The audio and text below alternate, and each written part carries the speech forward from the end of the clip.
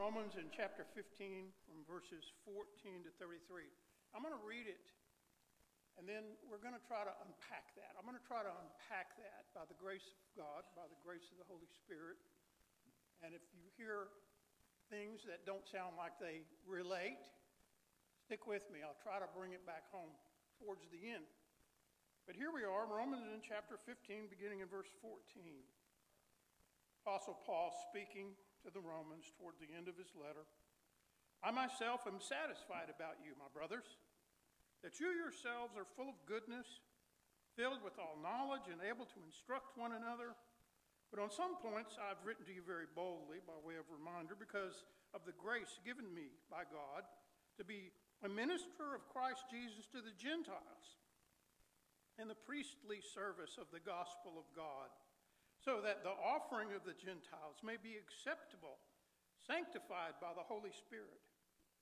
In Christ Jesus, then, I have reason to be proud of my work for God, for I will not venture to speak of anything except what Christ has accomplished through me, to bring the Gentiles to obedience by word and deed, by the power of signs and wonders, by the power of the Spirit of God, so that from Jerusalem and all the way around to Illyricum, have fulfilled the ministry of the gospel of Christ, and thus I make it my ambition to preach the gospel not where Christ has already been named, lest I build on someone else's foundation, but as it is written, those who have never been told of him will see, and those who have never heard will understand.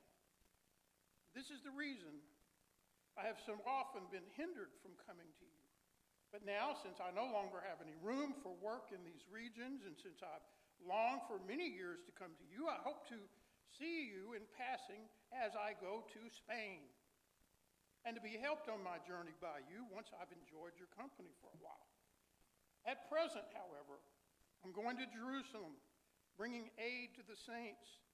For Macedonia and Achaia have been pleased to make some contribution for the poor among the saints at Jerusalem for they were pleased to do it. And indeed, they owe it to them, for the Gentiles have come to share in the spiritual blessings. They ought to be able to be of service to them in material blessings. When therefore I've completed this and have delivered to them what has been collected, I will leave for Spain by way of you. I know that when I come to you, I will come in the fullness of the blessings of Christ. Pretty cut and dry, right? There's a lot to unpack here that you may or may not be seeing that the Apostle Paul is concerned with. So I asked two questions today. One, you know, what's the big deal about the offering?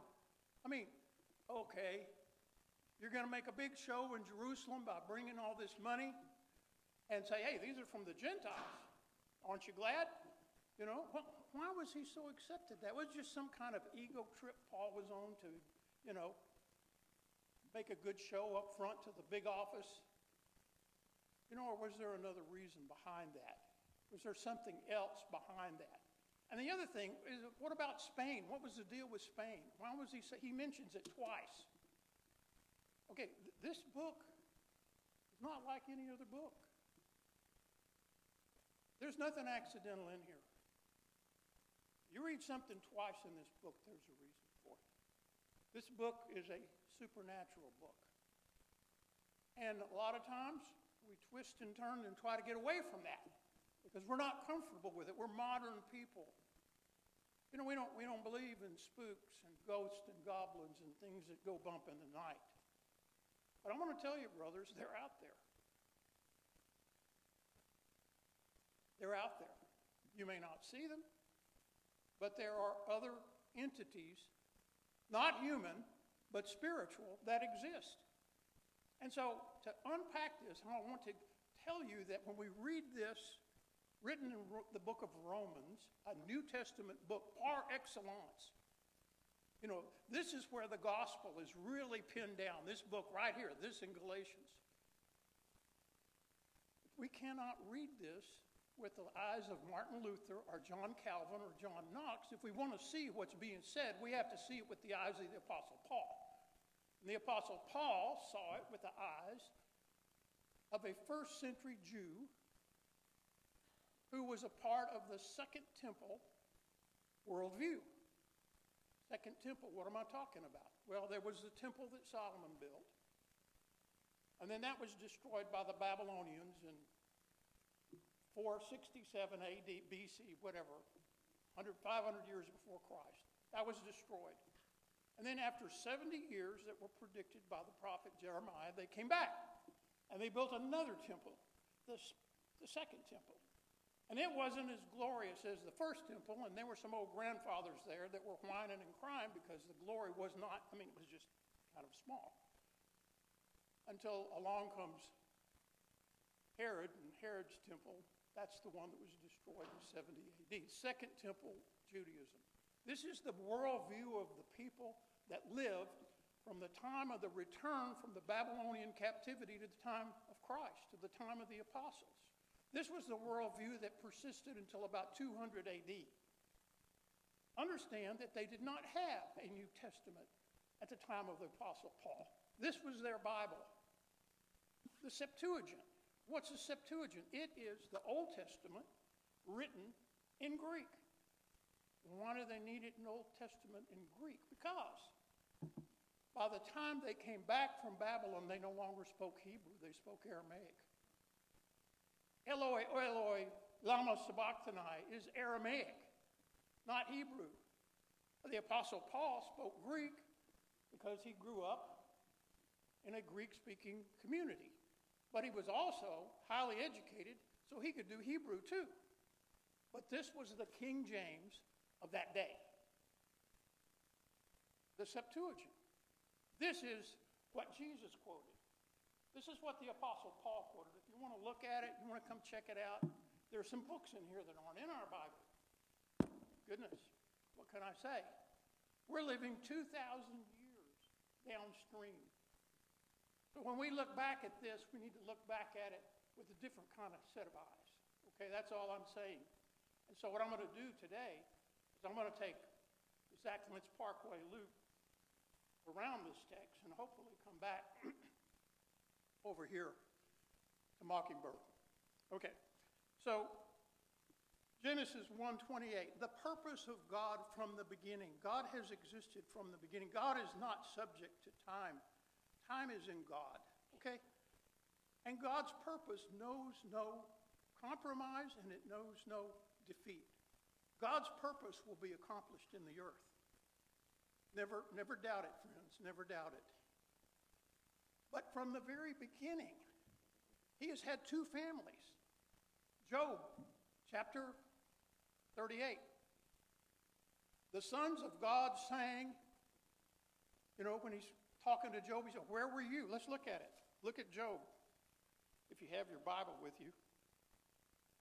You don't, just trust me.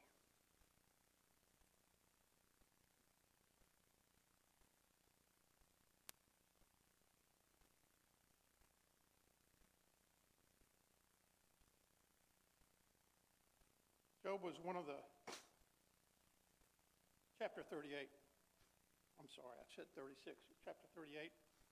One of the frustrating things about the book of Job is he asks all the, right questions and God never gives him an answer. He just prepares before him and asks him these questions. Where were you, I? Where this is verse 4.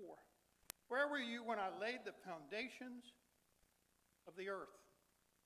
Tell me if you have understanding. Who determined its measurement? Surely you know. Who stretched out the line upon it? Or upon what basis, where its base is sunk, and who laid its cornerstone? When the morning stars sang together and all the sons of God shouted for joy. This is before Adam and Eve. Who are these sons of God? I'm telling you, God has a spiritual family and he has a human family. Okay? This is not the isolated text. There are many more texts. I'm going to refer to some of them, okay? So when God came, he wanted a family. God doesn't need a family. There is not a lack in God that he's lonely. God's not lonely, but he has sovereignly chosen to have other beings, other entities. And he has created a spiritual family called the B'nai Elohim, the sons of God. They're, they're called that here and they're called that in other places. They are not God. They're not equal to God. God is most high. Did you ever wonder in the Ten Commandments, the first commandment is what? Thou shalt have no other gods before me. What was God worried about? Was he worried about some little idol that some Jewish peasant carved out of a piece of wood or chipped out of stone? No. God's not talking about that. He's not worried about a piece of stone, a piece of wood. He is talking about spiritual entities that people worship who do not know Him. Thou shalt have no other gods before me. Thou shalt not make unto thee any graven images. That's number two. I had a pastor tell me once that was the same thing as the first one. Oh, you mean the first high is the most high is redundant? He's just repeating himself here? No, he has a purpose in what he says.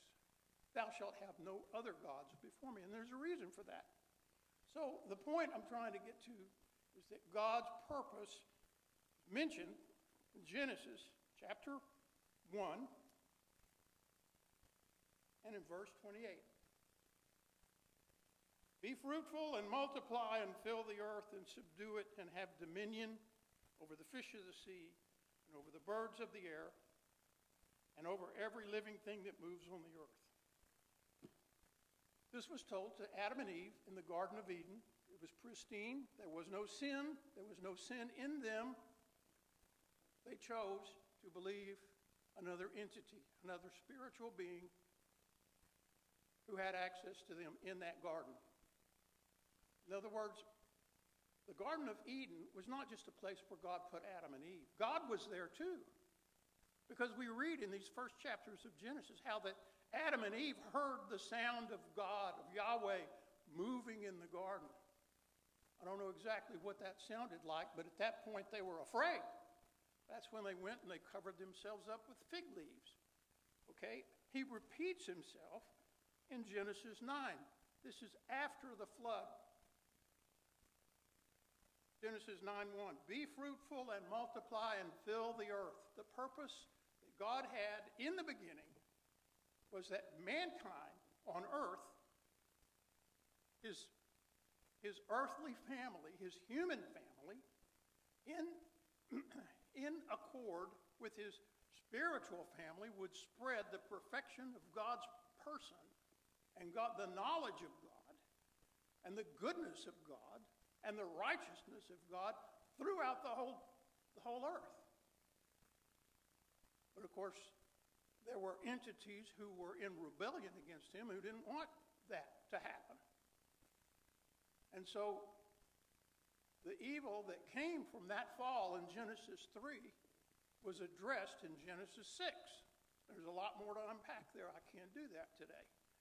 But let me just say that that original purpose was repeated by God in Genesis 9 to the sons of Noah and to Noah. Hey, our purpose hasn't changed. Okay? Go all the way to the end of the book of the book, the end of this book, Old Testament and New Testament. What do you have? Revelation 20 and 21. What's that? That's God fulfilling his original purpose to have perfection and the knowledge of him spread throughout the whole earth, peopled by his people, whom he has foreknown, whom he has chosen, and who have chosen him, and who have obeyed his voice, and who have been redeemed, because he is their redeemer. So the purpose of God knows no frustration. It may be frustrating to us, but it will happen as sure as the sun rises tomorrow. Okay, getting ahead of myself. Genesis 10:32, we have the Tower of Babel. Actually, uh, I'm sorry, the Table of Nations. And if you read those, it's interesting. In Genesis, I'm just going to refer to it real quickly. I would like to get to the end. Look here, the generation of the sons of Noah, Shem, Ham, and Japheth. Sons were born to them after the flood. The sons of Japheth, Gomer, Magog, Madai, and he goes down the whole list Tubal, Meshech, Tiras, Gomer, Ashkenaz, you know, Togarmah, the sons of Javan, and it goes down the list. Okay? The sons of Ham, Cush, Egypt, Put, Canaan, the sons of Cush. She, and he lists this as the table of nations. This is the table of nations. Now look, these were the peoples who occupied everything on this map, all the way down into Ethiopia. This was the known world up until the time of the Apostle Paul. Actually, there's a part of it, the Parthians, that goes further off to the east. The map's not quite big enough. The Roman Empire didn't even extend past the Parthians. They never could subdue them. They fought them, but they didn't win. Okay? Point I want to make out of this is that when you look at Acts chapter 2 and you look at the people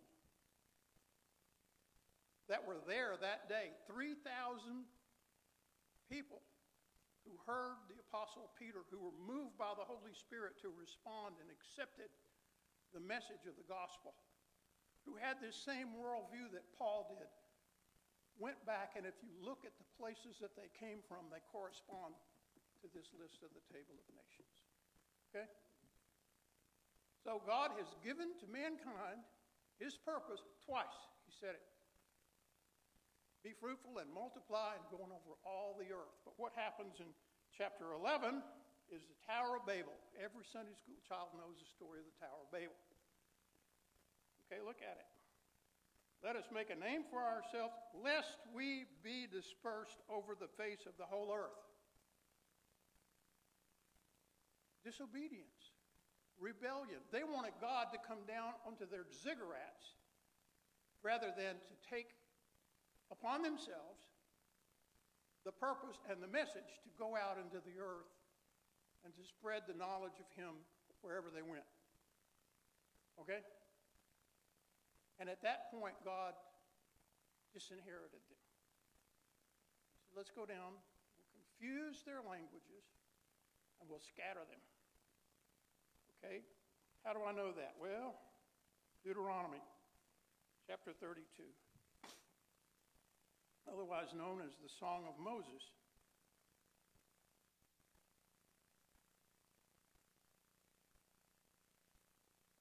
This is towards the end of Moses' life. He's been up on Mount Sinai. He has seen God as much as any human being can see him in the flesh and not be totally destroyed. And he has been instructed by God. And here's what he's saying at the end of his life to the people that God had chosen because he disinherited the nations Okay, what are that term nations? And when you read your Bible, you'll see it repeated the nations, the nations, the nations. In Greek, it's ethnos. We get our word ethnic from that buzzword, you know, red letter word these days. Okay? Goyim would be that in Hebrew, the nations. In, in Latin, it would be gentiles. That's where we get our term Gentile. So, who are we talking about when we say Gentile? Everybody else who was not descended from Abraham. Okay? What does he say?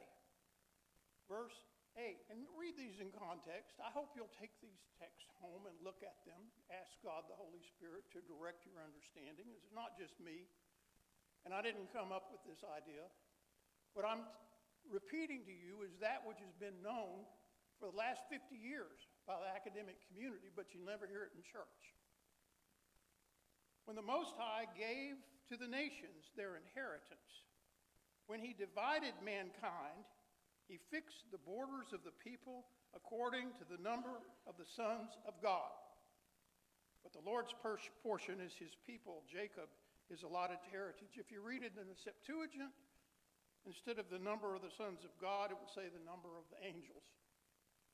Because the Greek for that term by the Jewish translators of the Old Testament adopted the word angelos, which basically means messengers. But they were the spiritual entities to whom God assigned these nations. now, later, rather than obeying God, they too rebelled, and we get this in Psalm 82. Psalm 82. God has taken his place in the divine council. In the midst of the gods, he holds judgment. How long will you judge unjustly and show partiality to the wicked? Oh, God's having a committee meeting. Now, where else do you see this? It's all over the place. If you know what you're looking for, it's in Daniel chapter 7. You know, uh, it's in Psalm 89, 5 to 7. You see it ref- referred to there, and you see it all over the place. It's hidden in plain sight.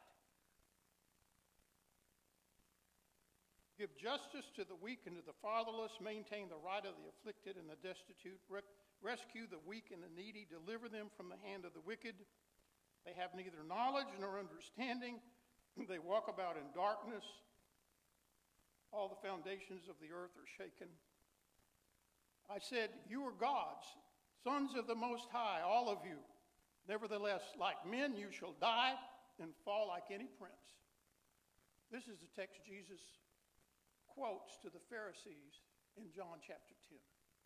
You are gods. Now, this is not, don't get me wrong, I'm not saying he's referring to these, the term is Elohim. And Elohim is sometimes often used for the Most High. What did Jesus say about the Most High?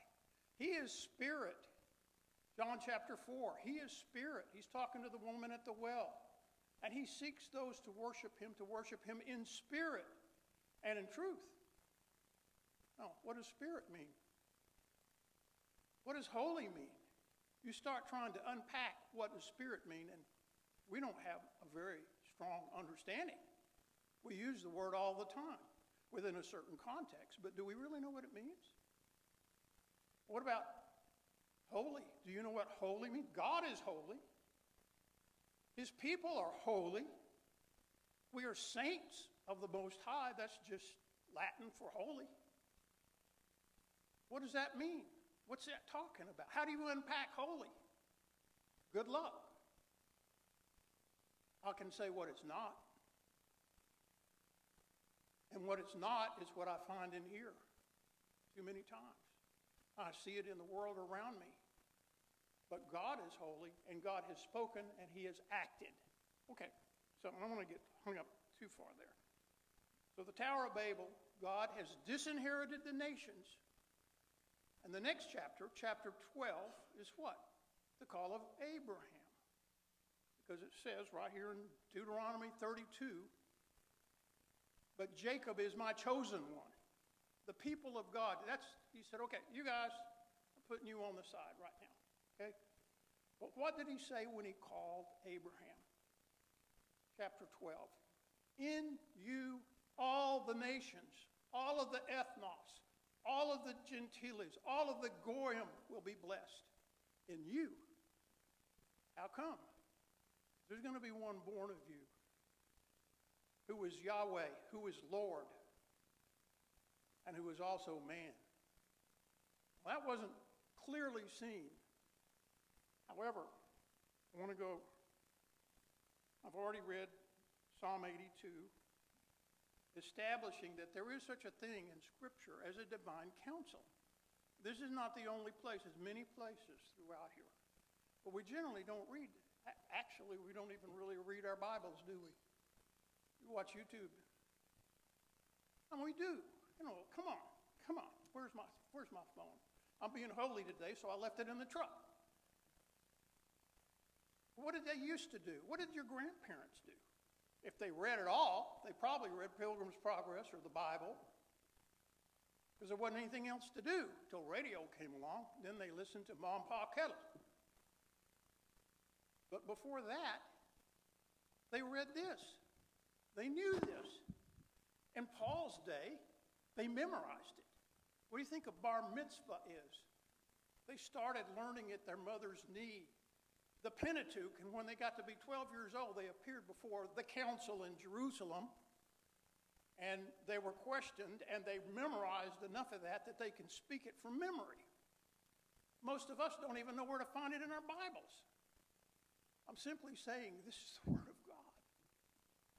And it was the Old Testament that the Apostle Paul was looking at, not the New, what didn't exist in writing, and it had not been codified until about 300 AD. It's, good. It's also the Word of God. It's unpacking this Old Testament and showing how that it has been applied in the person and the ministry and the finished work of the Lord Jesus Christ. Are you with me? I'm not talking heresy here, brothers. I'm not talking heresy. I'm simply saying this is how the Apostle Paul.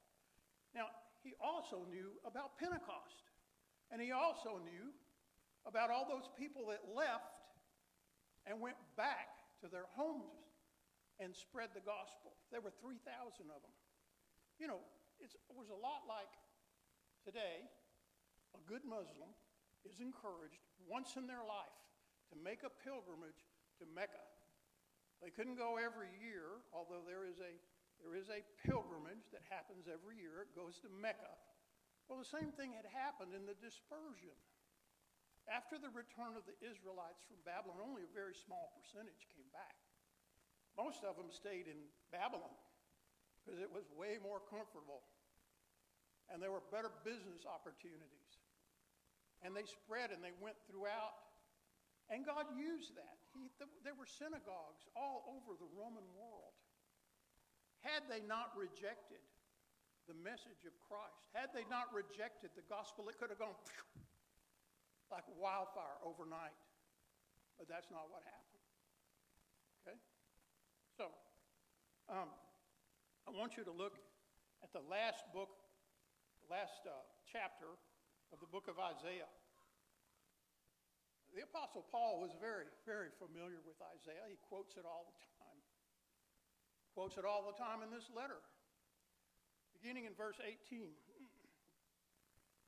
For I know their works and their thoughts, and the time is coming to gather all nations and tongues.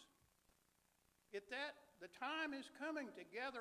This is Isaiah this is like 650 BC. And they shall come and they shall see my glory. And I will set a sign among them. And from them I will send survivors to the nations, to Tarshish. What's Tarshish? Spain.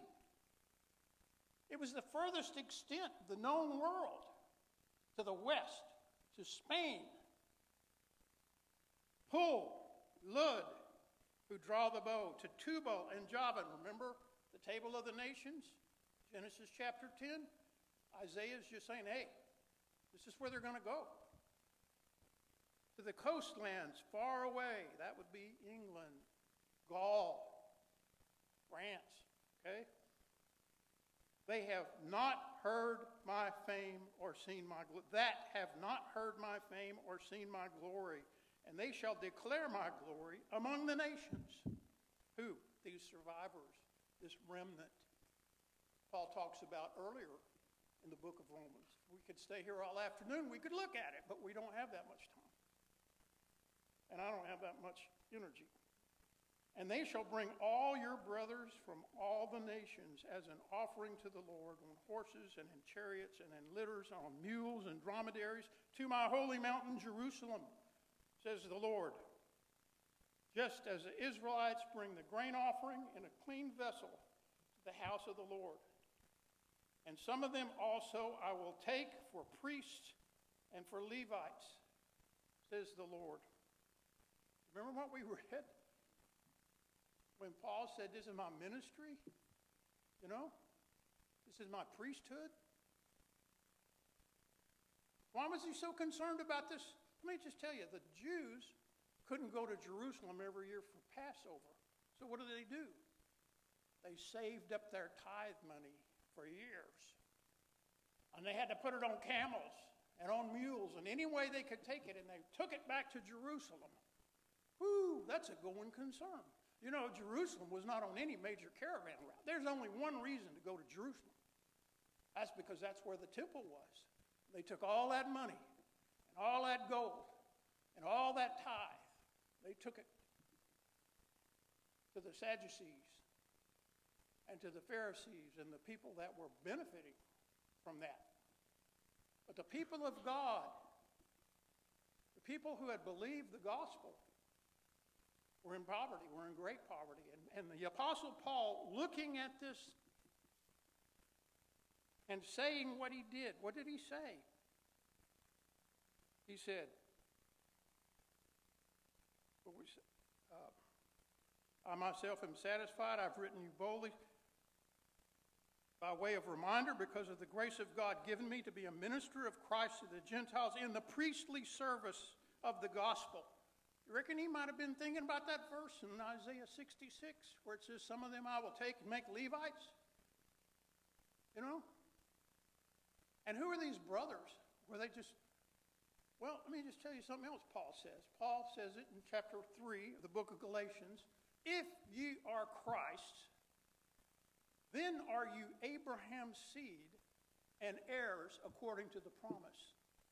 He was anxious to take that offering to Jerusalem and for it to arrive, not just so they could say, it was a fulfillment of this very prophecy. It was in fulfillment of this. The Apostle Paul wanted it. Wasn't because he was on a big ego trip. You know, in 2 Corinthians 9 1 to 5, he talks to the Corinthians all about, hey, be ready. Have that money ready. I'm sending my guys down to get that money. Make sure on the first day of the week, the day after the Sabbath, we don't do business on the Sabbath, make sure that money's ready because it's going to Jerusalem. This is important. You know, those Corinthians, they knew a little bit of this, they knew a little bit about it, but they might not have had Paul's depth of perception that this is, this is a theological act that we're doing. If the Holy Spirit and the mountain of God, which had not yet been destroyed, that would happen in 70 AD, then it would be a fulfillment of this prophecy. And he wanted to go to Spain. He didn't want to go places that other people had been. Apparently, there weren't very many Jews in Spain at that time because no one else had been there, and that was the uttermost parts of the, of the earth. This gospel will be preached to the uttermost parts of the earth, and then will the end come. Why did he want that? Because he had a part for the Jews. If the fullness of the Gentiles comes in, then God will do a work to change the hard hearts of Israel, and all Israel will be saved. He didn't know about Australia. He didn't know about North America and South America and Victoria, Texas. And so we're still here. But just as the Apostle Paul and those 3,000 people, why did God choose to use them? He didn't need them. He could put the gospel in the head of every person he's called, of every elect member of his kingdom.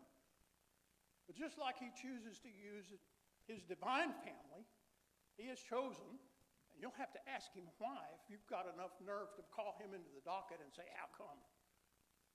He's chosen to use us. You know, and, and nobody is more opposed to going out handing tracts than me. I ain't doing it. But you know, God makes all kinds of opportunities for us to share the gospel. Pastor Ricky talked about it last week. And I trespassed on some of his text this morning, but I'm known for that. The point is, you don't have to be a theologian, you don't have to be the Apostle Paul. You know, when, when some guy like uh, Ray Comfort, ministry, Living Waters, he goes, he goes out with a TV camera and he hands out the tracts and he talks to people, and he's doing that. But when you talk to well, look, his technique is quite simple. Takes the Ten Commandments. You know, people say, well, I'm not under the law, I'm under grace. Let me just ask you something. Look at the Ten Commandments, Exodus chapter 20, and tell me which one you would do away with. Which one should we do away with? Murder? Adultery? Theft? Lying? Those are common practices today. But the law of God says this is not my character. And he just says simply, hey, have you ever looked at, you know, Jesus says, hey, it ain't the external law, it's the internal law. It's not have you actually slept with a woman, but have you looked at her with lust in your heart? And if you want to tell the truth, well, we won't go there. I've been married for 49 years almost. And what about murder? I have to repent of that every time I drive home from work because I got to go 57 miles to get there. And there's a lot of stupid between here and there. Okay, so I'm just saying. That's all he does is he takes people and he presents the law to them and he says, you know, God is holy. And nothing comes into God's presence that's not holy, and you're not holy, and I'm not holy, and you need to be saved. You know, and it, a lot of times they say, forget it.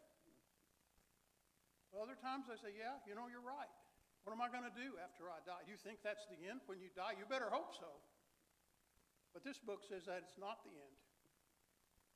This book says something different. You want you know, if, if I'm wrong, this conversation doesn't mean anything. But if you're wrong and I'm right, it's really, real important. You know, and, and the Holy Spirit, if you'll ask Him, will open up opportunities for you to talk to people. You don't have to preach to them. You don't have to be holier than thou. You need a Savior just as sure as they do.